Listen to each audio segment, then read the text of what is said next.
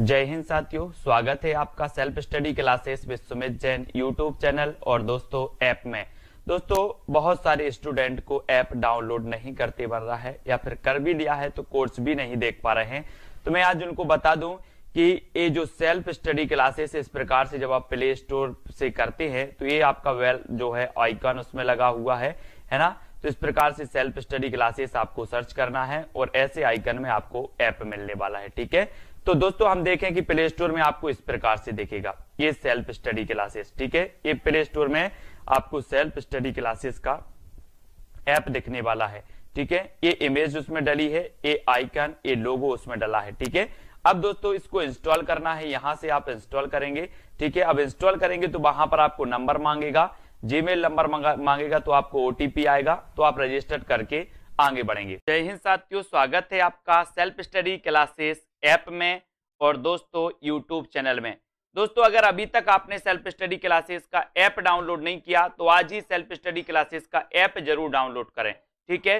हिंदी साहित्य का संपूर्ण कोर्स लॉन्च किया गया दोस्तों, सेल्फ स्टडी क्लासेस ऐप में। आप मास्टर कैडर एग्ज़ाम की तैयारी कर रहे हैं, टीजीटी, पीजीटी, जूनियर टेट या हिंदी साहित्य से संबंधित किसी भी एग्ज़ाम की तैयारी कर रहे हैं। तो सेल्फ स्टडी क्लासेस ऐप आपके लिए दोस्तों, बहुत ही बढ़िया, ट्रिकी कोर्स लॉन्च किया गया है। विस्तृत अध्ययन जहाँ पर आपको टॉपिक वाइज टेस्ट और लाइव क्लासेस सारी चीज़ डाउट सॉल्यूशन सब कुछ मिलता है। तो ज़रूर डाउनलोड करें। और दोस्तों, आज हम डाउट से जो क्लियर की क्लास लेकर आते हैं, इसी प्रकार से आज हमारी ये छठवीं क्लास है। इसको हम देखते हैं। आपसे पूछा जाता है, ढोला मारूरा दुहा के रचनाकार कौन है? ढोला मारूरा दुहा के रचनाकार कौन है? अब दोस्तों, ये डाउट्स नंबर एक, यहाँ पर आपकी दो चीज़ें मिलती हैं। एक तो कल्लोल कवि और दूसरा कौशल लाभ। ठीक है? अब दोस्तों क्वेश्चन में आपसे जब पूछा जाता है तो एक ही आता है।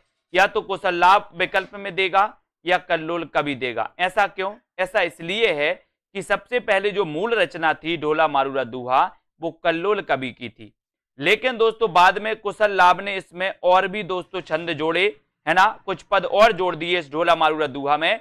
तो ढोला मारूरा दुहा के रचनाकार कुशल लाभ को माना जाने लगा। लेकिन क्वेश्चन पूछा जाता है तो अपन को उत्तर कैसे लगाना? विकल्प अनुसार, क्योंकि ढोला, मारूरा, दुहा के रचनाकार कल्लोल कवि भी सही है और कुशल लाभ भी सही है। विकल्प अनुसार अपन को उत्तर कल्लोल कवि और कुशल लाभ लगाना दोनों एक साथ विकल्प में कभी नहीं आएगा। ठीक है? तो ये डाउट्स नंबर एक आपका क्लियर दूसरा दूसरा क्वेश्चन है दोस्तों आप यहाँ पर, कलम का जादूगर किसे कहा जाता है? यहाँ से क्वेश्चन आते हैं। और दोस्तों कंफ्यूजन यहाँ से होता है भयंकर, है ना? अगर ये ऐसे क्वेश्चन आपका आएगा, कलम का जादूगर तो आपको याद रख लेना, राम वृक्ष बैनीपुरी। ऐसे याद कर लेना, बोले, वृक्ष की कलम का जादू, वृक्ष की कलम का जादू, वृक्ष की कलम का जादू। तो कलम का जादूगर अगर आए तो राम वृक्ष बैनीपुरी। लेकिन अगर आपसे पूछा जाए कि कलम का जादूगर तो राम वृक्ष बैनीपुरी। कलम का सिपाही तो लगाना प्रेमचंद। कलम का मजदूर किसे कहा जाता है? तो प्रेमचंद, भाषा का जादूगर शिव पूजन सहाय को कहा जाता है। और दोस्तों, शब्दों का जादूगर कमलेश्वर। शब्दों का जादूगर कमलेश्वर और बिंब का जादूगर कहा जाता है केदारनाथ सिंह को। तो डाउट्स क्लियर कलम का जादूगर रामरक्ष बैनीपुरी। कलम का सिपाही प्रेमचंद को कहा जाता है। ये जीवनी अलग है दोस्तों। एक कलम का सिपाही जीवनी लिखी थी किसने? अमृत राय ने। कलम का मजदूर जीवनी लिखी थी किस, किसने? मदन गोपाल ने। लेकिन अगर कहा जाता है, ये आपसे पूछा जाए कि कलम का सिपाही किसे कहा जाता है तो आप बताओगे प्रेमचंद को। कलम का मजदूर किसे कहा जाता है तो प्रेमचंद को। भाषा का जादूगर किसे कहा जाता तो शिव पूजन सहाय। शब्दों का जादूगर किसे कहा जाता तो कमलेश्वर बिंब का जादूगर केदारनाथ से ठीक है? तो इनको दोस्तों अपन को पढ़ना है, इनको याद करना है। ठीक है? और कलम का जादूगर पूछा गया था तो उत्तर होगा राम वृक्ष बेनीपुरी। क्वेश्चन कैसे भी आपसे पूछ लिया जाए, आपको तैयार रहना है। ठीक है? अगला डाउट्स दोस्तों अपना है कवि सम्राट किसे कहा जाता है? दो क्वेश्चन यहाँ से बनते हैं। कौन कौन से? एक तो आपसे पूछा जाता है, उपन्यास सम्राट किसे कहा जाता है? दूसरा क्वेश्चन आपसे पूछा जाता है कवि सम्राट किसे कहा जाता? तो दोनों में डाउट्स होता है कभी कभी तो उपन्यास सम्राट अगर आपसे पूछा जाए तो आपको लगाना है प्रेमचंद। और अगर कवि सम्राट आपसे पूछा जाए तो आपको लगाना हरियोद। हरियोद ने दोस्तों नागरिक प्रचारणी सभा में निःशुल्क सेवाएँ दी थी, इसलिए वहाँ से इनको कवि सम्राट की उपाधि मिली थी। तो कवि सम्राट, हरियोद और उपन्यास सम्राट प्रेमचंद। बोले, हरि चाहे तो कवि को सम्राट बना दें। हरि चाहे तो कवि को सम्राट बना दें। तो हरि से हरियोद और कवि सम्राट हरियोद। है ना? उपन्यास सम्राट प्रेमचंद। Doubts clear? अगला देखो, यहाँ पर आते हैं छायावाद का प्रवर्तक किसे माना जाता है? यहाँ भी बहुत सारे लोगों को डाउट्स है। कैसे? सबसे पहले तो क्वेश्चन नॉर्मल पूछा जाता है। कुछ लोगों की मन में धारणा है, उत्तर मुकुटधर पांडे। यहाँ पर मुकुटधर पांडे नहीं होगा। अगर क्वेश्चन ऐसा आता है कि छायावाद का प्रवर्तक किसे माना जाता है तो आपका राइट आंसर हो जाएगा जयशंकर प्रसाद। अगर आपसे पूछा जाता है कि रामचंद्र शुक्ल ने छायावाद का प्रवर्तक किसे माना तब आपका 100 परसेंट उत्तर होगा मुकुटधर पांडे। अगर आपसे क्वेश्चन पूछा जाता है कि नंद दुलारी वाजपेयी ने छायावाद का प्रवर्तक किसे माना, तब आपका 100 परसेंट उत्तर होगा पंत को। लेकिन नॉर्मल क्वेश्चन अगर पूछा जाता कि छायावाद का प्रवर्तक किसे माना जाता, तब आपका उत्तर होगा जयशंकर प्रसाद। ठीक है? और अगर आपसे पूछा जाता है कि ईला चंद्र जोशी ने छायावाद का प्रवर्तक किसे माना, तब आपका उत्तर भी होगा क्या? जयशंकर प्रसाद। तो यहाँ पर चार विकल्प, चार प्रश्न आपके बन जाते रामचंद्र शुक्ल ने किसे माना? मुकुटधर पांडे। नंदुलारी वाजपेयी ने किसे माना? पंत को। ईलाचंद जोशी ने किसे माना? जयशंकर प्रसाद को। और नॉर्मल अगर पूछा जाता है तो जयशंकर प्रसाद।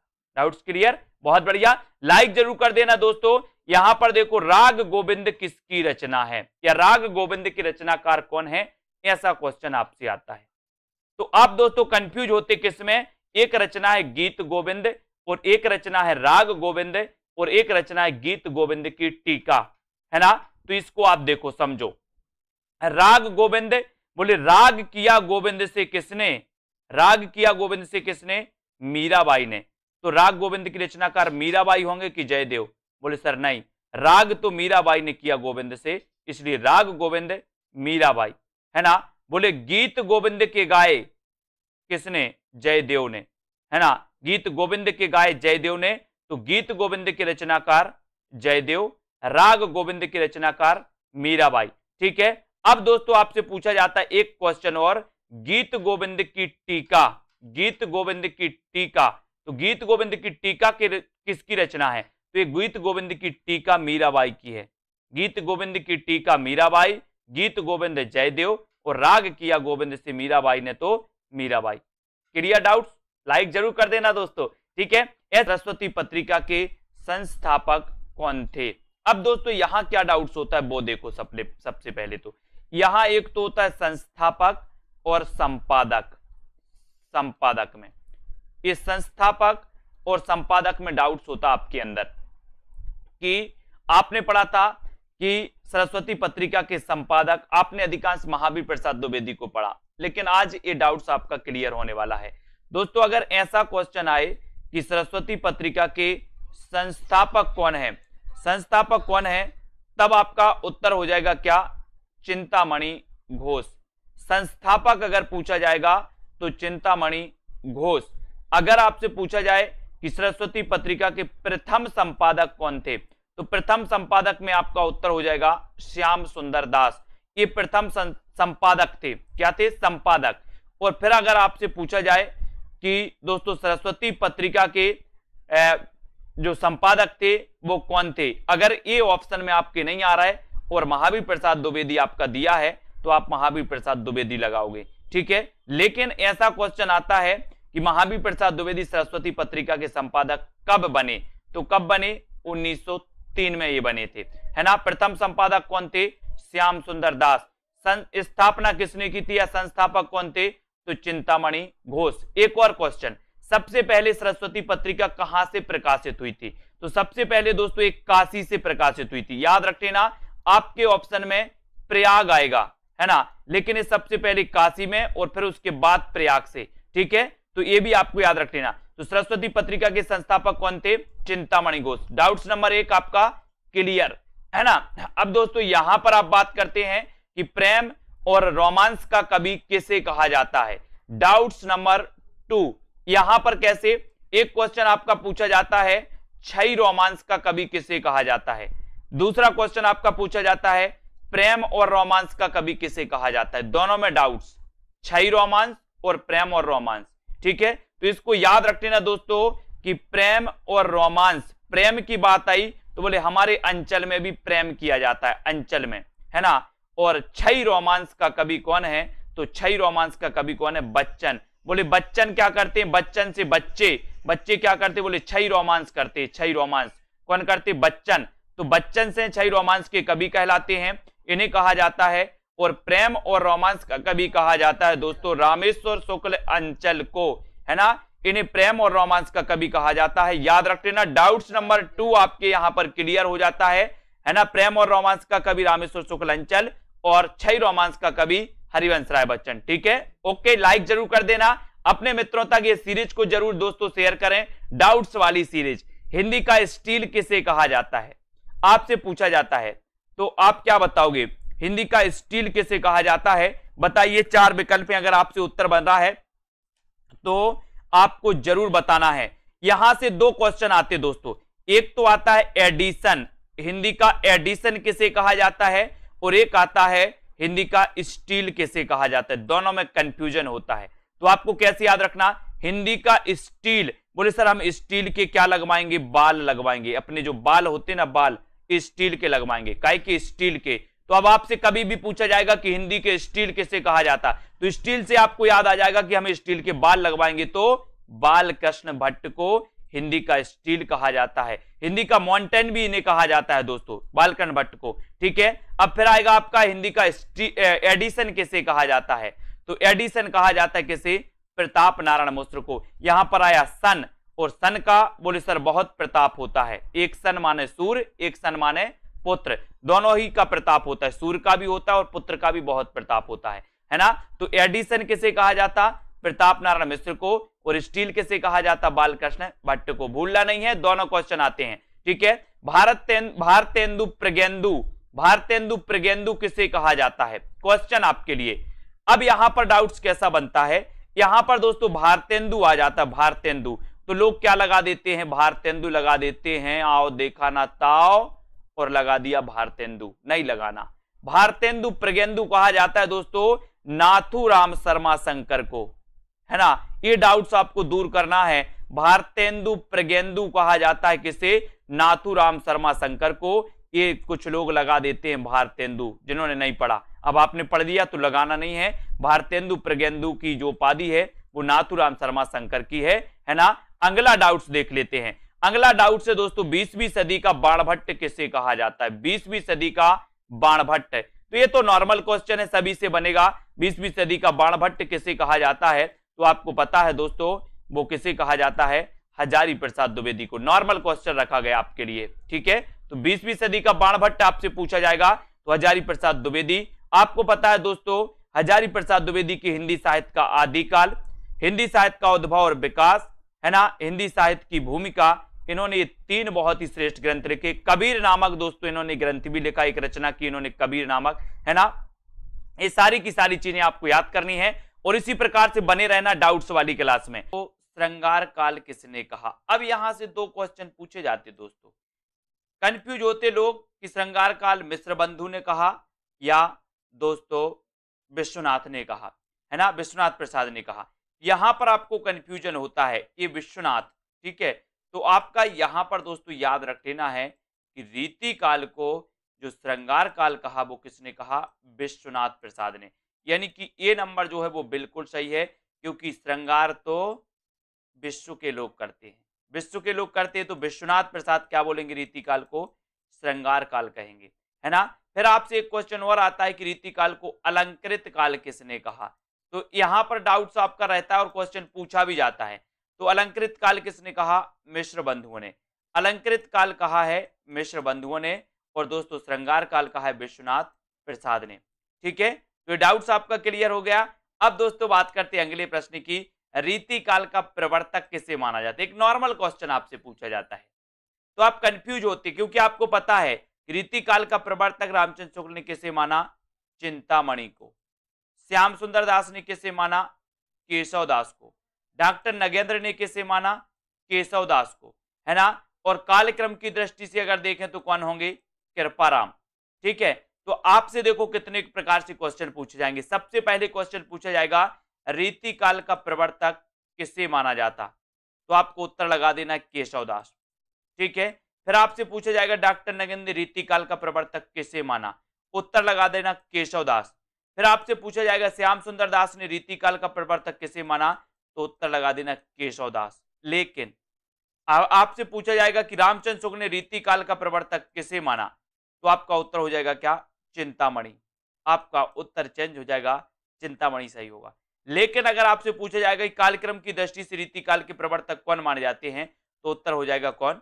दोस्तों, कृपाराम कृपाराम, ठीक है? तो यहाँ पर आपके तीन चार प्रश्न रहते हैं, जिसमें आप हमेशा दोस्तों क्या कंफ्यूज होते रहते हैं। क्लियर डाउट्स अगला क्वेश्चन अगला क्वेश्चन है दोस्तों, हिंदी साहित्य का प्रथम बड़ा महाकाव्य कौन सा है? कौन सा है? ये क्वेश्चन आता है।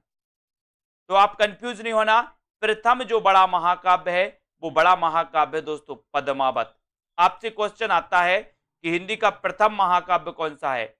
उत्तर है पृथ्वीराज, रासो। लेकिन आपसे क्वेश्चन आता है कि हिंदी का प्रथम प्रमाणिक महाकाव्य कौन सा है? तो पद्मावत। हिंदी का प्रथम बड़ा महाकाव्य कौन सा है? तो पद्मावत।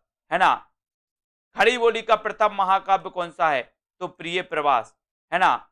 ये भी आपको याद रख लेना। तो यहाँ से याद रख लेना दोस्तों, हिंदी का प्रथम महाकाव्य पृथ्वीराज रासो रचनाकार चंद्रवरदाई हिंदी का प्रथम प्रमाणिक महाकाव्य पद्मावत, रचनाकार जायसी, है ना? हिंदी खड़ी बोली का प्रथम महाकाव्य प्रिय प्रवास, रचनाकार हरियोद हरियोद, ठीक है? ये भी आपको याद रख लेना। यहाँ से आपके जो क्वेश्चन है वो क्या हो जाती है? क्लियर ये डाउट्स वाले प्रश्न आपसे पूछे जाते हैं। अगला क्वेश्चन अनित्य किसकी रचना है? अनित्य रचना बताना है दोस्तों। तो यहाँ पर आपको बताना है कि अनित्य के रचनाकार कौन है? तो यहाँ पर दो लोगों की रचना है दोस्तों, अनित्य। है ना? तो एक तो बदी उज्जमा की और एक मृदुला गर्ग की। तो यहाँ पर आपको याद रख लेना कि जो बदी उज्जमा है, इनकी अनित्य क्या है? कहानी। इनकी अनित्य क्या है? कहानी। जबकि मृदुला गर्ग का ये क्या है? उपन्यास है।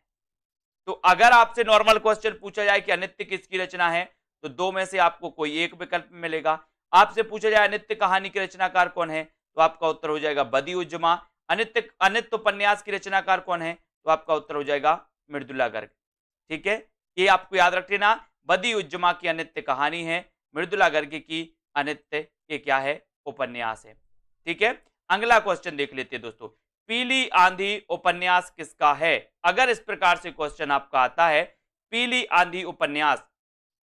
तो मैंने कई बार आपको बताया, बोले, सर, जब सरसों फूलता है खेतों में, खेतन में जब सरसों फूलता है तो ऐसा लगता है, मानो पीली आंधी आ गई हो। कहाँ पे? खेतन में। खेतन में तो खेतान। पीली आंधी कहाँ आती बोले, सर, खेतन में। तो ये पीली आंधी उपन्यास किसका होगा? खेतन का, प्रभा खेतान का। लेकिन एक क्वेश्चन और आता है, दोस्तों, काली आंधी। काली आंधी एक किसका उपन्यास है? तो काली आंधी कमलेश्वर का काली और का कमलेश्वर। याद याद रख लेना कंफ्यूज नहीं होना। पीली आंधी और काली आंधी। पीली आंधी कहाँ आएगी? खेतन में तो खेतान। और काली आंधी का से काली आंधी का कमलेश्वर। ठीक है? तो काली आंधी उपन्यास किसका है? कमलेश्वर को। ठीक है? तो ये तो थे दोस्तों आपके डाउट्स वाले प्रश्न। ऐसे अनेकों वीडियो आएँगे। इसकी रचना है। चार विकल्प है महादेवी वर्मा की, दिनकर प्रतिभा अग्रवाल या फिर अलका सराबगी। अब ऐसा अगर क्वेश्चन आता है तो कई लोग कंफ्यूज होते कैसे कंफ्यूज होते डाउट्स नंबर एक, रश्मि और रश्मि रथी, है ना? तो रश्मि तो यहाँ पूछा गया तो यहाँ तो उत्तर आपका महादेवी वर्मा हो जाएगा। लेकिन यहाँ पर रश्मि रथी पूछा जाता तो उत्तर दिनकर होता। याद रखते ना कई लोग कंफ्यूज होते रश्मि और रश्मि रथी में। तो रश्मि महादेवी वर्मा जी की रचना है।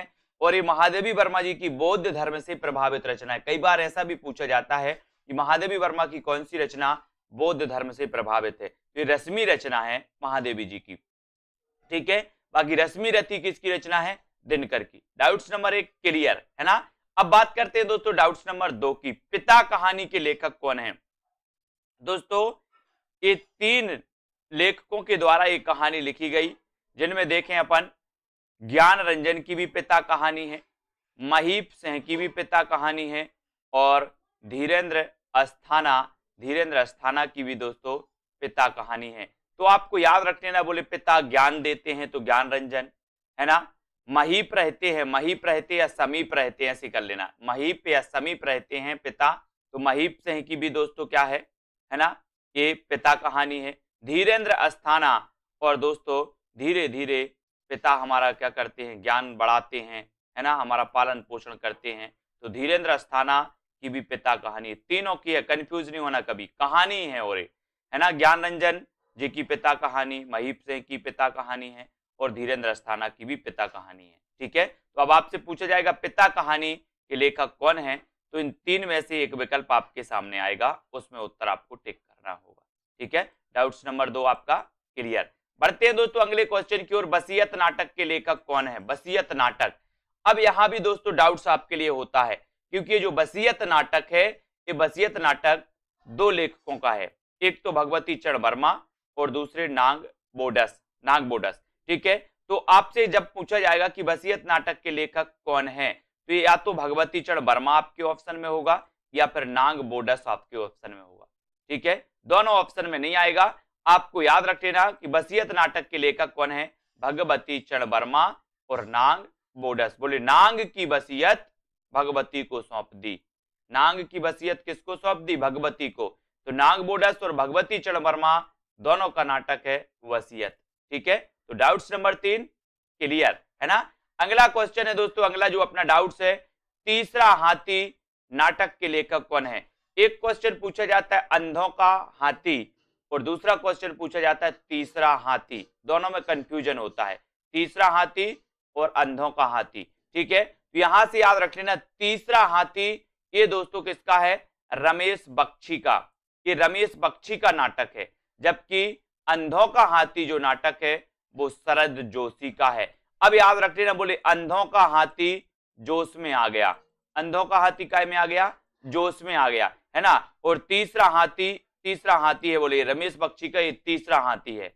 है ना? एक हाथी, दो हाथी, तीसरा हाथी। तो रमेश बख्शी का तीसरा हाथी है, ठीक है? शरद जोशी अंधों का हाथी, ठीक है? तो क्लियर? डाउट्स नंबर आपको आपसे पूछा जाएगा? तीसरा हाथी के रचनाकार कौन है? तो आप उत्तर लगा देना, रमेश बख्शी। आपसे पूछा जाएगा, अंधों का हाथी की रचनाकार कौन है?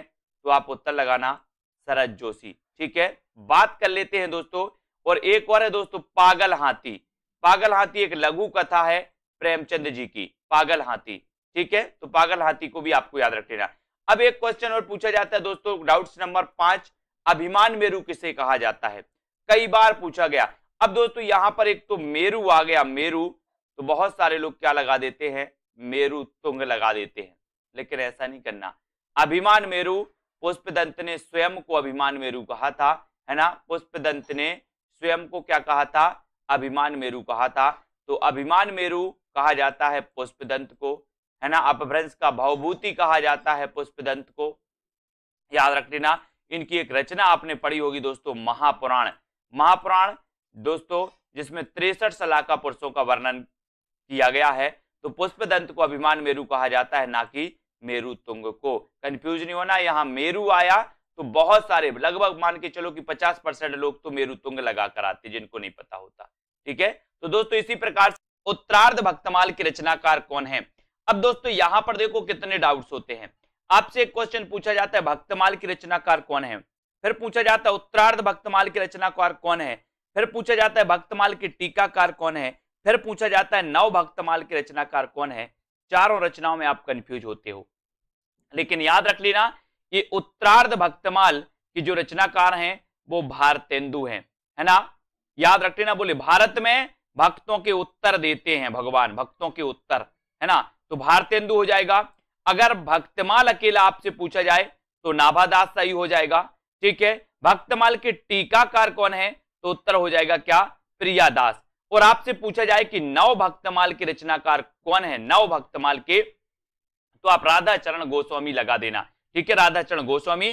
तो आपके चार प्रश्न यहाँ से बनते हैं। भक्तमाल के रचनाकार नाबादास उत्तरार्ध भक्तमाल के रचनाकार, भारतेंदु। है ना? फिर आपसे पूछा जाता है भक्तमाल के टीकाकार प्रियादास नव भक्तमाल के रचनाकार कौन है? राधाचरण गोस्वामी। ठीक है? डाउट्स नंबर एक क्लियर दूसरी बात करते महापात्र किसे कहा जाता है? तो महापात्र आपको बताना है दोस्तों, निराला, नरहरी बंदीजन, रहीम या फिर विद्यापति में से। तो यहाँ पर जो डाउट्स नंबर आपका टू है, क्या डाउट्स होता है? जिनने नहीं पढ़ा, वो महापात्र को सीधे सीधे लगा के आते हैं क्या? निराला। लेकिन आपको पता है कि निराला को महापात्र नहीं, महाप्राण कहा जाता है। महाप्राण निराला को, जबकि महापात्र कहा जाता है नर हरि बंदीजन। बोले, हम हरि के नर जो हैं, वो हरि के महापात्र हैं। याद रख लेना, नर हरि बंदीजन इन्हें महापात्र कहा जाता है और निराला को कहा जाता है महाप्राण। बोले, हमारा महाप्राण निराला है, हमारा महाप्राण निराला है। इस प्रकार से। तो डाउट्स नंबर टू क्लियर बात करें तीन की। उसने कहा था कि रचनाकार कौन है? आपसे पूछा जाएगा। उसने कहा था कि रचनाकार कौन है? तो ये तो सबको पता है कि सर ये जो कहानी है, ये फ्लैशबैक शैली में लिखी गई कहानी है और इस कहानी के जो लेखक है, वो चंद्रधर शर्मा गुलेरी है। है ना? उसने कहा था, बुद्धू का कांटा और सुखमय जीवन। इनकी तीन प्रसिद्ध कहानियाँ मानी जाती हैं, चंद्रधर शर्मा गुलेरी की। जबकि दोस्तों, उसने नहीं कहा था कि रचनाकार कौन है, शैलेश मटियानी। कभी कभी आपसे पूछा जाए, उसने नहीं कहा था कि रचनाकार कौन है। तो आप कहोगे, यार, कि ये ही पूछा होगा, उसने कहा था। लेकिन ये गड़बड़ हो गया होगा। परीक्षक ने, प्रिंट करने वाले ने नहीं लिख दिया। अपन तो उत्तर सही लगाएँ, है ना? तो ये उसने नहीं कहा था, ये दोस्तों, रचना। शैलेश मटियानी की और तुमने कहा था, तुमने कहा था एक रचना नागार्जुन की। तो तीन डाउट्स वाले क्वेश्चन उसने कहा था चंद्रधर शर्मा गुलेरी, उसने नहीं कहा था शैलेश मटियानी, तुमने कहा था नागार्जुन। ठीक है? क्लियर चौथा क्वेश्चन अपन देखते हैं दोस्तों आदि काल को चारण काल किसने कहा? कई बार क्वेश्चन पूछा जाता है। और डाउट्स में बहुत सारे लोग दोस्तों क्या कर देते गलत कर देते हैं। तो आदिकाल को चारण काल दोस्तों, दो विद्वानों ने कहा है। एक तो राम कुमार वर्मा ने और दूसरा गिरियर्सन ने। तो अब आप कंफ्यूज नहीं होना, विकल्प में एक ही आएगा। या तो राम कुमार वर्मा आपसे दिया जाएगा, या फिर गिरियर्सन आपको दिया जाएगा। ठीक है? तो आदिकाल को चारण काल राम कुमार वर्मा ने भी कहा है और गिरियर्सन ने भी कहा है। ठीक है? क्लियर आगे देखते हैं दोस्तों, चरणों में गिरे। बोले, राम के चरणों में गिरे। तो राम से राम कुमार वर्मा और गिरे से गिरियर्सन दोनों ने कहा है चारण काल, आदि काल को। ठीक है? डाउट्स नंबर फाइव जो सबसे खतरनाक क्वेश्चन है दोस्तों, है ना? ये क्वेश्चन सबसे खतरनाक है। स्वर्ण युग और स्वर्ण काल। लोग बहुत कंफ्यूज होते, हम भी कंफ्यूज हो जाते, है ना? तो स्वर्ण युग किसने कहा और स्वर्ण काल किसने कहा? तो यहाँ याद रख लेना दोस्तों, ये मैंने आपको सुधार के दिया है कि स्वर्ण युग जो कहा है, वो कहा है श्याम सुंदर दास ने। और स्वर्ण काल जो कहा है, वो स्वर्ण काल कहा है किसने? गिरियर्सन ने। इसको आपको याद रख लेना है। बोले, स्वर्ण स्वर्ण के काल में गिरे, स्वर्ण के काल में गिरे, ऐसे याद रख लेना आपको। स्वर्ण के काल में गिरे तो गिरे से बनेगा गिरियर्सन स्वर्ण काल और श्याम सुंदर, स्वर्ण युग, है ना? बोले, श्याम सुंदर का जो युग था, वो श्याम सुंदर युग था, स्वर्ण युग था। श्याम सुंदर का युग कैसा था? सुंदर युग था। ठीक है? तो स्वर्ण युग कौन कहेगा? श्याम सुंदर दास। और क्या स्वर्ण के काल में गिरे? स्वर्ण के काल में गिरे तो गिरियर्सन ये डाउट्स वाला क्वेश्चन दोस्तों मैंने ये सुधार के आपको दिया है ये वीडियो इसको देख लेना और सुधार लेना ये बिल्कुल सही है। ठीक है? स्वर्ण योग किसने कहा? श्याम सुंदर दास ने। और स्वर्ण काल किसने कहा? गिरियर्सन ने। ठीक। आपसे एक, एक एक प्रश्न पूछा जाता है कि उर्वशी की रचनाकार कौन है? डाउट्स नंबर एक। उर्वशी की रचनाकार कौन है? तब आपके मन में एक डाउट्स रहता है कि ये तो दिनकर की रचना है। ठीक है? एक डाउट्स रहता है। लेकिन दोस्तों, आपको पता है कि एक रचना जयशंकर प्रसाद की भी उर्वशी है। ठीक है? यहाँ पर दोनों विकल्प आपको दिए गए हैं। ठीक है? आपके विकल्प में ऐसे दोनों विकल्प नहीं दिए जाएँगे, जब आपका प्रश्न परीक्षा में पूछा जाएगा। एक ही विकल्प आएगा तो यहाँ पर डाउट्स में नहीं रहना। आपको क्या करना है? यहाँ पर अगर दिनकर ऑप्शन में आता है तो आप दिनकर लगाइए। और जयशंकर प्रसाद आता है तो जयशंकर प्रसाद लगाइए। क्योंकि उर्वशी की रचना दोस्तों, जयशंकर प्रसाद ने सबसे पहले की थी, फिर बाद में की थी दिनकर ने। और दिनकर को एक रचना के लिए दोस्तों क्या मिला था उर्वशी के लिए? ज्ञानपीठ पुरस्कार भी इन्हें मिला था। कब मिला था? उन्नीस सौ बहत्तर में। ठीक है? तो ये चीज़ आपको याद रख लेना। यानी कि उर्वशी रचना इन दोनों रचनाओंकारों की भी मतलब उर्वशी नाम से इन दोनों की रचना है, ठीक है? डाउट्स नंबर एक आपका क्लियर डाउट्स नंबर दो देखते हैं दोस्तों, हिंदी का पाड़नी किसे कहा जाता है? हिंदी का पाड़नी किसे कहा जाता है? अब दोस्तों, यहाँ पर क्या डाउट्स रहता है आपका? सबसे पहले, आपसे पूछा जाता है हिंदी का पाड़नी और आप आँखें बंद करके लगाते कामता प्रसाद गुरु, ठीक है? जबकि क्वेश्चन ऐसा नहीं है। हिंदी का पाड़नी आपसे पूछा है, अगर तो आपको लगाना किशोरी दास वाजपेयी अगर हिंदी का पाड़नी आपसे पूछा है, तब आपका उत्तर होगा किशोरी दास वाजपेयी लेकिन अगर यहाँ पर आपसे पूछा कि हिंदी व्याकरण का पाड़नी अगर आपसे हिंदी व्याकरण का पाड़नी पूछा है तो आप क्या लगाओगे? कामता प्रसाद गुरु। तो दो क्वेश्चन यहाँ से आपके डाउट्स वाले क्लियर हो जाते हैं। क्या क्या हो जाते हैं? आपसे नॉर्मल क्वेश्चन आएगा कि हिंदी का पाड़नी किसे कहा जाता? तो आप क्या लगाओगे? किशोरी दास वाजपेयी अगर आपसे पूछा जाए हिंदी व्याकरण का पाड़नी किसे कहा जाता तो आप लगाओगे कामता प्रसाद गुरु, है ना? फिर आपसे अगर पूछा जाएगा दोस्तों की प्राकृत का पाड़नी किसे कहा जाता तो आपका उत्तर हो जाएगा हेमचंद्र, आपको पता होगा, ठीक है? तो इस प्रकार से क्वेश्चन आते हैं तो डाउट्स नंबर टू आपका यहाँ पर क्लियर होता है। बात कर लेते डाउट्स नंबर तीन की, प्रयोगवाद शब्द का सबसे पहले प्रयोग किसने किया? अब यहाँ पर क्या डाउट्स रहता है? दोस्तों, ये डाउट्स रहता कि प्रयोगवाद का जब प्रवर्तन या प्रयोगवाद के जब प्रवर्तक अज्ञे माने जाते हैं तो प्रयोगवाद शब्द का सबसे पहले प्रयोग भी किसने किया होगा? अज्ञे ने। ऐसा आप मान बैठते अगर आपने नहीं पढ़ा तो। लेकिन आपको पता होनी चाहिए कि प्रयोगवाद शब्द का सबसे पहले प्रयोग किया था किसने? नंद दुलारी वाजपेयी ने। सबसे पहले प्रयोग किया था इस प्रयोगवाद का किसने? नंद दुलारी वाजपेयी ने। लेकिन अगर यहाँ क्वेश्चन पूछा जाता है कि प्रयोगवाद के प्रवर्तक कौन है तो आप लगाओगे क्या? अज्ञे। प्रयोगवाद के प्रवर्तक कौन है? तो अज्ञे।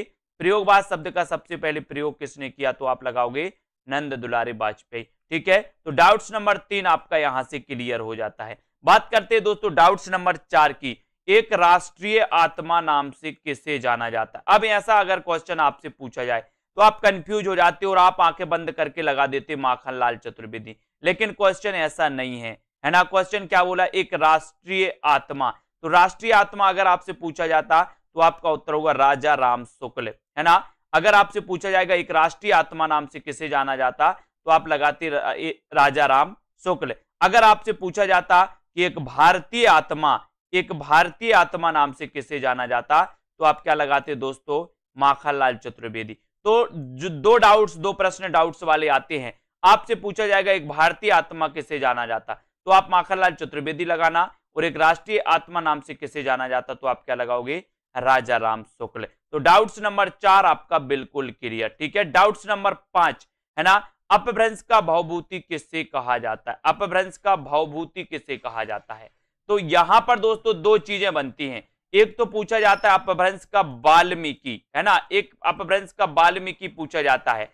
तो अपभ्रंश का वाल्मीकि और अपभ्रंश का भावभूति यहाँ पर आपको कंफ्यूज हो जाता है कि अभ्रंश का वाल्मीकि किसे कहा जाता है अभ्रंश का भावभूति कहा, किसे कहा जाता तो याद रख लेना अपभ्रंश का भावभूति कहा जाता है दोस्तों पुष्प दंत को। अब हमें काय की भभूति लगाना है? बोले, सर, हम पुष्प की भभूति लगाएँगे। है ना? तो आपसे पूछा जाएगा अभ्रंश का भावभूति किससे कहा जाता तो आप उत्तर लगाओगे पुष्प दंत लेकिन अगर आपसे पूछा जाए कि अभ्रंश का वाल्मीकि किसे कहा जाता तो आप क्या लगाओगे? स्वयंभू। है ना? बोले, हम तो स्वयं वाल्मीकि हैं। स्वयं वाल्मीकि तो स्वयं से स्वयंभू और वाल्मीकि से वाल्मीकि। तो अब कबीर की भाषा को, साधुकड़ी भाषा किसने कहा? यहाँ पर दोस्तों बहुत सारा डाउट्स रहता है। डाउट्स कैसा रहता है? दो क्वेश्चन पूछे जाते हैं। एक तो पूछा जाता है कि कबीर की भाषा को पंचमेल खिचड़ी किसने कहा? और दूसरा पूछा जाता है कबीर की भाषा को साधुकड़ी किसने कहा? है ना? तो और दोस्तों कबीर को बाणी का डिक्टेटर किसने कहा? तीसरा क्वेश्चन इन तीन में डाउट्स रहते हैं। अब इस डाउट्स को आज हम क्लियर करते हैं। डाउट्स नंबर अपना फ़र्स्ट यही है कि कबीर की भाषा को साधुकड़ी किसने कहा? तो तब ऐसा अगर पूछा जाए साधुकड़ी किसने कहा? तो आपको लगाना रामचंद्र शुक्ल, है ना? और अगर आपसे पूछा जाए कि कबीर की भाषा को पंचमेल खिचड़ी किसने कहा? तो पंचमेल खिचड़ी किसने कहा? श्याम सुंदर दास ने। अब बोले सर इसको कैसे याद रखेंगे? तो आपको पता है जब पंचमेल खिचड़ी बनेगी तो वो खराब बनेगी या फिर सुंदर बनेगी? बोले, सर, बहुत ही सुंदर पंचमेल खिचड़ी बनी। सुंदर बनेगी ना पंचमेल? तो श्याम सुंदर पंचमेल कहेंगे और रामचंद्र शुक्ल क्या कहेंगे? साधुकड़ी कहेंगे। है ना? ये आपको याद रख लेना। अब आपने देखा होगा राम वनवास गए थे साधु के भेष में। गए थे ना? तो साधुकड़ी कौन कहेगा? राम से रामचंद्र शुक्ल। पंचमेल खिचड़ी कौन कहेगा? श्याम सुंदर दास। है ना? वाणी का डिक्टेटर किसे कहा जाए हजारी प्रसाद द्विवेदी। है ना? हजारी प्रसाद द्विवेदी ने वाणी का डिक्टेटर कहा। तो डाउट्स नंबर एक आपका यहाँ पर क्लियर होता है, ठीक है? डाउट्स नंबर दो की बात करें। अर्धनारीश्वर की रचनाकार कौन है? चार विकल्प है, दिनकर, विष्णु प्रभाकर, धर्मवीर भारती और रामविलास शर्मा। अब यहाँ पर दोस्तों कंफ्यूजन वाला सिस्टम रहता है। अर्धनारीश्वर की रचनाकार कौन है? ये आपसे पूछा जाता है तो आपको यहाँ पर याद रख लेना दोस्तों कि अर्धनारीश्वर एक तो दिनकर की भी रचना है और दूसरा विष्णु प्रभाकर की भी रचना है। लेकिन आपको कैसे याद रख लेना दोस्तों? दिनकर का ये क्या है? निबंध है। दिनकर का ये क्या है? अर्धनारीश्वर निबंध है, जबकि विष्णु प्रभाकर का ये क्या है दोस्तों? उपन्यास है। ठीक है, इसको अपन को याद रख लेना है। दिनकर का क्या है? निबंध विष्णु प्रभाकर का क्या है? उपन्यास। तो अर्धनारीश्वर दोस्तों, इस प्रकार से अगर रचना पूछी जाएगी, अर्धनारीश्वर की रचनाकार कौन है तो ये दोनों नहीं दिया जाएगा। किसी में से, दोनों में से एक दिया जाएगा। ठीक है? अगर आपसे पूछा जाएगा कि अर्धनारीश्वर निबंध की रचनाकार कौन है, तब अगर दोनों भी दिया जाएगा तो आपको उत्तर लगाना है दिनकर। आपसे पूछा जाएगा, अर्धनारीश्वर उपन्यास की रचनाकार कौन है, दोनों भी दिया जाएगा तो आपको क्या लगाना है दोस्तों? विष्णु प्रभाकर। तो विष्णु प्रभाकर का अर्धनारीश्वर क्या है? उपन्यास। और दिनकर जी का क्या है? निबंध। ठीक है? तो ये डाउट्स नंबर दो आपका क्या होता है? क्लियर होता है। ठीक है? अब दोस्तों, यहाँ पर आते त्रिशंकु के रचनाकार कौन है? ये त्रिशंकु कई बार रचना पूछी गई दोस्तों। त्रिशंकु। त्रिशंकु के रचनाकार कौन माने जाते हैं? तो त्रिशंकु देखो, तीनों की रचना है दोस्तों। अज्ञे की भी रचना है, ब्रजमोहन सह की भी रचना है, और मन्नू भंडारी की रचना भी त्रिशंकु है। अब आप लोग पढ़ते कि सर, त्रिशंकु रचना आती है कभी आप मन्नू भंडारी बता देते हो, कभी अज्ञे बता देते हो, लेकिन आज का जो डाउट है वो आपका आज क्लियर होना चाहिए, है ना? अज्ञे जी का त्रिशंकु क्या है? निबंध है। अज्ञे जी का त्रिशंकु क्या है दोस्तों? निबंध है, ठीक है? ब्रजमोहन सिंह का त्रिशंकु क्या है? नाटक है नाटक है, ठीक है? मन्नू भंडारी का त्रिशंकु क्या है? कथा संग्रह या कहानी संग्रह है, ठीक है? तो यहाँ पर आपको डाउट्स नहीं करना। आपसे अगर पूछा जाए कि त्रिशंकु कहानी संग्रह की लेखिका कौन है या लेखक कौन है? तो मन्नू भंडारी, ठीक है? अगर आपसे पूछा जाए त्रिशंकु नाटक किसका है तो आप बताओगे ब्रजमोहन से त्रिशंकु, दोस्तों, निबंध किसका है तो आप क्या बताओगे? अज्ञे जी का। और नॉर्मल क्वेश्चन अगर पूछा जाए कि त्रिशंकु की रचनाकार कौन है तो तीन में से विकल्प में एक आपके विकल्प में दिया जाएगा। या तो अज्ञे होगा, या ब्रजमोहन से या मन्नू भंडार। इन तीन में से एक आपके विकल्प में होगा, तीनों कभी नहीं होगा, ठीक है? तो त्रिशंकु निबंध किसका? अज्ञे त्रिशंकु नाटक, ब्रजमोहन से है। ना? त्रिशंकु, दोस्तों, कहानी संग्रह, मन्नू भंडारी। ठीक है? तो डाउट्स नंबर दोस्तों, अपना ये क्लियर होता है। है ना? सभी का डाउट्स इसी प्रकार से दोस्तों, कई वीडियो आने वाले हैं डाउट्स वाले, जिनको अपन क्लियर करेंगे। अगला क्वेश्चन आपका बनता है कि हिंदी का ऐतिहासिक उपन्यासकार, प्रथम प्रथम, है ना? प्रथम ऐतिहासिक उपन्यासकार कौन माना जाता है? प्रथम। ठीक है? तो प्रथम ऐतिहासिक उपन्यासकार कौन माने जाते हैं? तब यहाँ आपका डाउट्स रहता है वृंदावन लाल वर्मा में और किशोरी लाल गोस्वामी में, है ना? जबकि दोस्तों, आपको पता है हिंदी के प्रथम ऐतिहासिक उपन्यासकार जो माने जाते हैं, वो किशोरी लाल गोस्वामी माने जाते हैं। कौन माने जाते हैं? किशोरी लाल गोस्वामी माने जाते हैं, जबकि अगला ही क्वेश्चन पूछा जाता है कि हिंदी में ऐतिहासिक कहानी, परंपरा के जो जनक माने जाते हैं, वो कौन माने जाते हैं? ऐतिहासिक कहानी के जनक कौन माने जाते हैं? वृंदावन लाल वर्मा। जबकि हिंदी के प्रथम ऐतिहासिक उपन्यासकार माने जाते कौन? किशोरी लाल गोस्वामी। है ना? तो इसको याद रख लेना। इसका उत्तर आपका क्या होगा? हिंदी के प्रथम ऐतिहासिक उपन्यासकार किशोरी लाल गोस्वामी। जबकि हिंदी के प्रथम कहानी हिंदी की, दोस्तों ऐतिहासिक कहानी के जो जनक माने जाते ऐतिहासिक कहानी के जो जनक माने जाते वो वृंदावन लाल वर्मा। ठीक है? वृंदावन लाल वर्मा को ऐतिहासिक कहानियों की परंपरा का जनक माना जाता है। याद रख लेना ऐतिहासिक कहानियों की परंपरा का जनक वृंदावन लाल वर्मा, ऐतिहासिक दोस्तों उपन्यास की परंपरा का जनक किशोरी लाल गोस्वामी या हिंदी के प्रथम ऐतिहासिक उपन्यासकार जो माने जाते वो किशोरी लाल गोस्वामी। तो डाउट्स आपका यहाँ पर क्लियर होता है दोनों का। ठीक है? अब दोस्तों हम आगे बात करेंगे। अगले प्रश्न पर एक क्वेश्चन पूछा जाता है, कठिन काव्य का प्रेत किसे कहा जाता है? कठिन काव्य का प्रेत किसे कहा जाता है? और दूसरा क्वेश्चन पूछा जाता है, कठिन गद्य का प्रेत किसे कहा जाता है? दोनों में लोग कंफ्यूज होते हैं। कठिन काव्य का प्रेत और कठिन गद्य का प्रेत। तो यहाँ पर एक चीज़ आपको याद रखनी है कि दोस्तों, काव्य अगर पूछा जाए तो काव्य का प्रेत आपका उत्तर होगा केशव दास।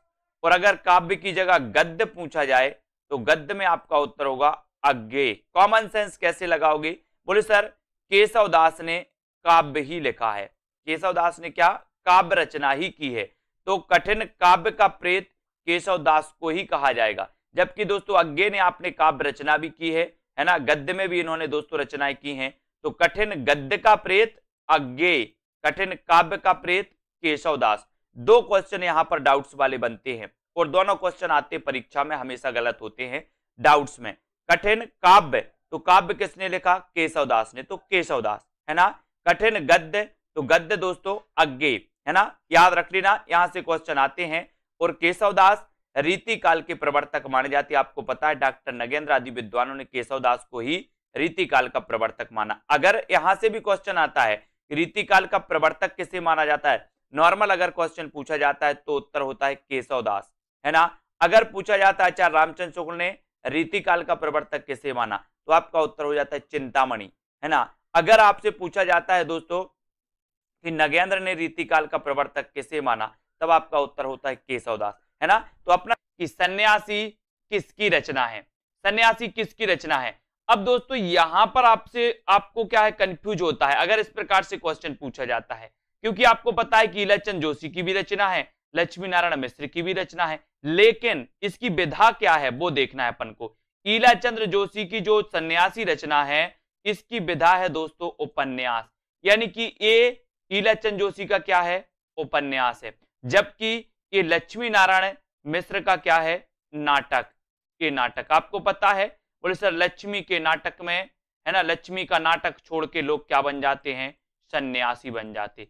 लक्ष्मी का नाटक। तो लक्ष्मी नारायण मिश्र नाटक से नाटक है और सन्यासी बन जाते तो सन्यासी इनका नाटक है। ना? इलेक्शन जोशी का ये सन्यासी क्या है? उपन्यास। ठीक है? इसको देखेंगे। अब दोस्तों, दूसरा आपका डाउट से मुक्ति पथ, ये किसकी रचना है? अब मुक्ति पथ के बारे में दोस्तों आपको दिख रहे होंगे उदय शंकर भट्ट ईलाचंद जोशी और अभय मौर्य। ये तीन लोगों की रचना है। अगर ऐसा क्वेश्चन आएगा तो ये क्वेश्चन गलत होगा, क्योंकि उदय शंकर भट्ट की भी रचना है ईलाचंद जोशी की भी है, अभय मौर्य की है। लेकिन अगर आपसे पूछा जाएगा कि मुक्ति पथ नाटक किसका है तो आपका उत्तर उदय शंकर भट्ट होगा। आपसे पूछा जाएगा मुक्ति पथ उपन्यास किसका है? तो उपन्यास दोस्तों इलाचंद्र जोशी का भी है और अभय मौर्य का भी उपन्यास ही है इसी नाम से। तो मुक्ति पथ उपन्यास इलाचंद जोशी और दोस्तों अभय मौर्य, इसको आपको याद रख लेना उदय शंकर भट्ट का मुक्ति पथ क्या है? नाटक है। इलाचंद जोशी का क्या है? उपन्यास है। अभय मौर्य का क्या है? उपन्यास है। तो आपसे पूछा जाएगा अगर कि मुक्ति पथ उपन्यास किसका है? तो इन दो में से एक के ऑप्शन में मिलेगा। या तो इलाचंद जोशी या फिर अभय मौर्य ठीक है, इसको याद रखना। अब दोस्तों पंचबटी प्रसंग। पंचबटी प्रसंग किसकी रचना है? एक रचना आती है दोस्तों पंचबटी एक आती है पंचबटी और एक रचना पूछी जाती है पंचबटी प्रसंग। ठीक है तो पंचबटी ये तो आपको पता है कि पंचवटी ये जो रचना है, ये क्या है दोस्तों? खंड काव्य मैत्री शरण गुप्त का। लेकिन पंचवटी प्रसंग पंचवटी प्रसंग के रचनाकार कौन है? तो वो है निराला। ठीक है? आपको पता है, निराला छायावाद के आधार स्तंभ में माने जाते हैं। तो पंचवटी प्रसंग, निराला और मैत्री शरण गुप्त की रचना पंचवटी। आज से दोस्तों आपका ये डाउट्स भी क्लियर अब याद रख लेना। पंचवटी, निराला, पंचवटी प्रसंग, पंचवटी मैत्री शरण गुप्त पंचवटी प्रसंग, निराला। ठीक है? फिर यहाँ पर बात करते वापसी किसकी रचना है? वापसी। तो वापसी के बारे में दोस्तों आपने कई बार पढ़ा होगा, ऊषा प्रियम्बदा ये तो सबको पता है कि वापसी ऊषा प्रियम्बदा की क्या है, कहानी है। लेकिन अगर आपसे पूछा जाए कि वापसी एकांकी किसकी है तो आपको क्या बताना है? वापसी एकांकी की रचनाकार उदय शंकर भट्ट वापसी कहानी ऊषा प्रियम्बदा ठीक है? इसको याद रख लेना और आपसे नॉर्मल पूछा जाए वापसी किसकी रचना है तो इन दो में से एक ऑप्शन आपको मिलेगा। या तो ऊषा प्रियम्बदा या उदय शंकर भट्ट दोनों एक साथ नहीं मिलेंगे। डाउट्स क्लियर इसी प्रकार से दोस्तों आपको बने रहना है। वीडियो को लाइक और शेयर ज़रूर करना है। आपका अगला डाउट से रस विमर्श किसकी रचना है?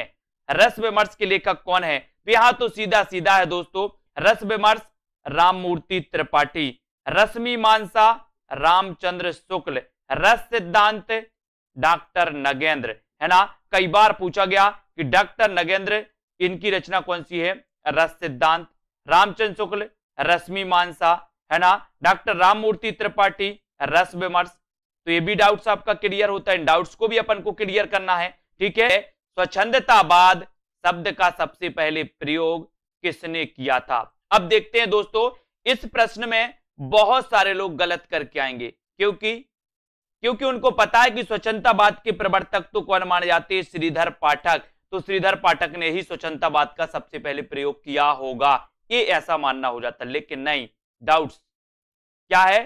श्रीधर पाठक स्वच्छतावाद के प्रवर्तक हैं, लेकिन स्वच्छंदतावाद शब्द का प्रयोग सबसे पहले किया था मुकुटधर पांडे ने।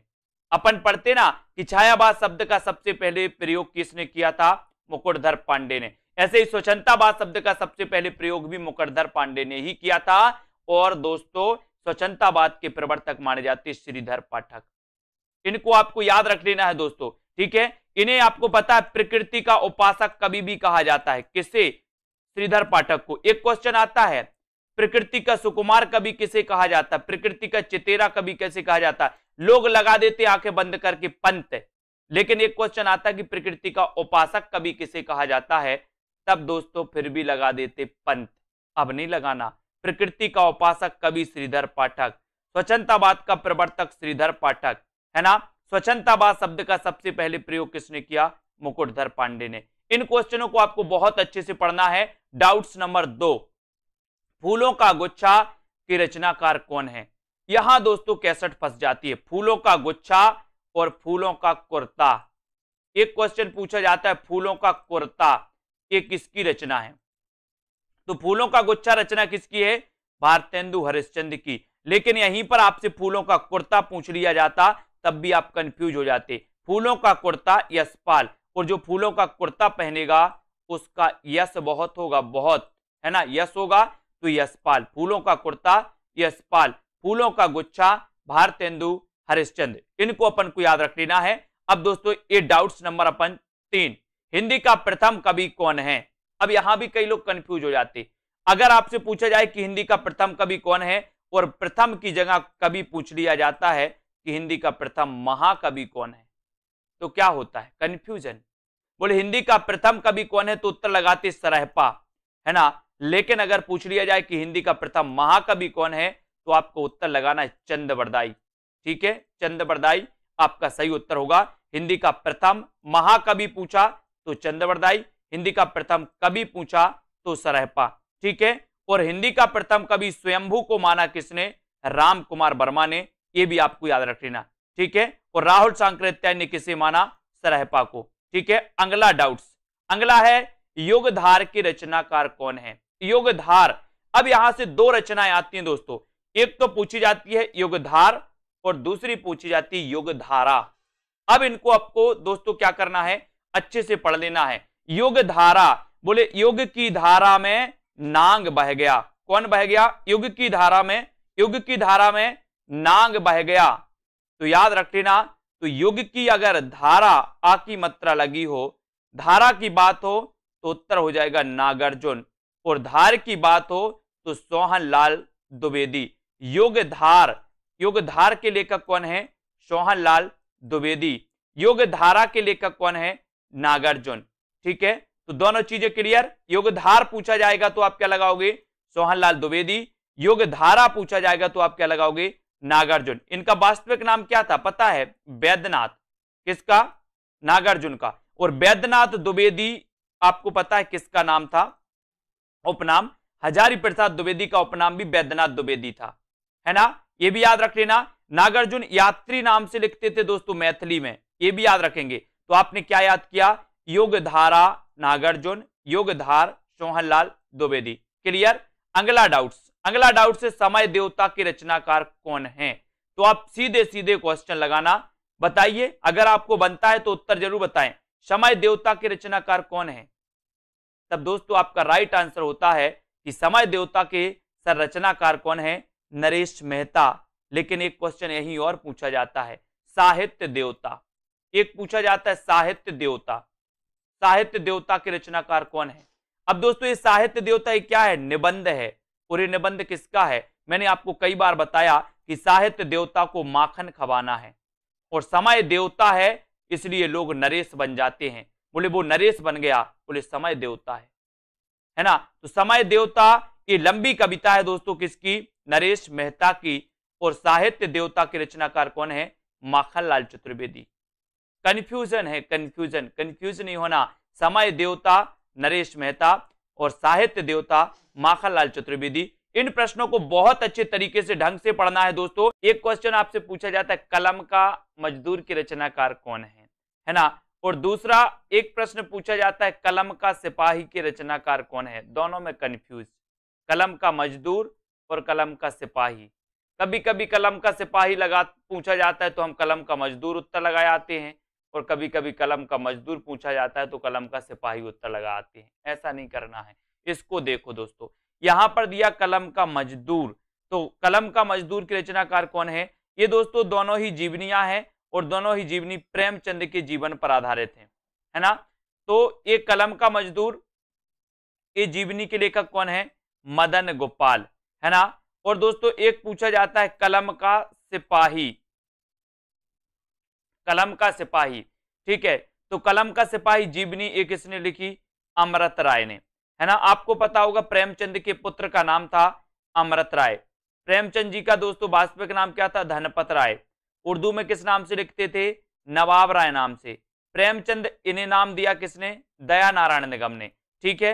अब दोस्तों, इनके पुत्र का नाम था अमृत राय। इन्होंने जीवनी लिखी थी कलम का सिपाही, याद रख लेना। अब डाउट्स में करती है कौन सी? कलम का मजदूर। अब कलम का मजदूर को याद कैसे रखना है? यहाँ पर आया माँ से मजदूर और माँ से मदन गोपाल। इतना बस आपको याद रख लेना कि सर माँ से मजदूर आता है और माँ से इसका उत्तर मदन गोपाल आता है। बाकी आप कलम का सिपाही अपने आप उत्तर लगा के आओगे कि अमृत राय की डाउट्स को क्लियर करने के लिए इतना याद रख लेना। तो डाउट्स नंबर एक क्लियर कलम का मजदूर, मदन गोपाल। कलम का सिपाही, अमृत राय। ठीक है? अगला डाउट्स अगला डाउट्स आपको होता है, मेरी जीवन यात्रा आत्मकथा के लेखक कौन है? मेरी जीवन यात्रा। यहाँ दोस्तों आपको डाउट्स होता है दो लोगों की रचना दो लोगों की आत्मकथा इसी नाम से। कौन कौन की? एक तो राहुल सांकृत्यायन की है, और एक है दोस्तों किसकी? एक है जानकी देवी बजाज की। ठीक है? जानकी देवी बजाज। तो आपको याद रख लेना कि एक राहुल सांकृत्यायन ऑप्शन में दो नहीं आएगा। और जब आपसे इस प्रकार से प्रश्न आएगा कि मेरी जीवन यात्रा आत्मकथा किसकी है तो या तो ऑप्शन में राहुल सांकृत्यायन होगा या जानकी देवी बजाज होगा। ठीक है तो आपको याद रख लेना, बोले मेरी जीवन यात्रा बजाज गाड़ी से प्रारंभ हुई। कौन सी गाड़ी? बजाज गाड़ी से। नहीं तो ऐसा कर लेना, बोले मेरी नहीं, मेरी जान की जीवन यात्रा बजाज गाड़ी से प्रारंभ हुई थी। ऐसे याद कर लो, ये जल्दी याद हो जाती। तो जान की देवी बजाज। ठीक है, और राहुल सांकृत्यांश तो डाउट नंबर दो आपका क्लियर। दोनों की आत्मकथा एक ही नाम से है, ठीक है?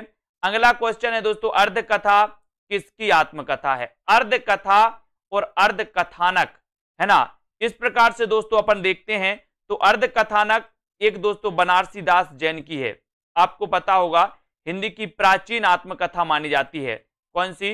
अर्ध कथानक ठीक है? अर्ध कथानक ये बनारसी दास जैन की और कहीं कहीं इसको आपको अर्ध कथा लिखा भी मिल जाएगा बनारसी दास जैन की। तो कंफ्यूज नहीं होना, ये बनारसी दास जैन की अर्ध कथानक भी है और अर्ध कथा भी लिखा मिल जाता है।